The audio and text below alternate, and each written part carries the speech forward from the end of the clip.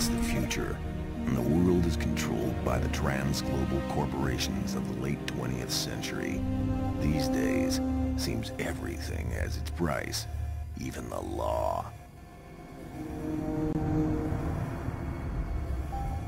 This is the world of the Psychops, covert operation teams who operate outside of the system, against the system.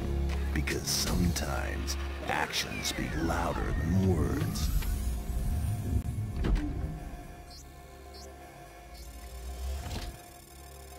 Psychops has targeted the Nakamichi Corporation. These boys just stepped over the line. Their crime, illegal bioweapon program, genetic weaponry based on human DNA. We got enough on Nakamichi to justify a raid, and that's where I come in. Psychops Agent Manson, Hawk Manson. Like other agents, I'm packing the usual body enhancements, and enough firepower to take out a city. Anything to give me the edge.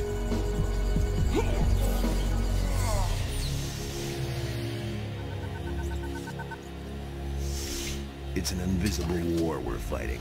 And if you get caught, no one will ever know. But I ain't got no problem with that. The Psychops directive is my kind of ride.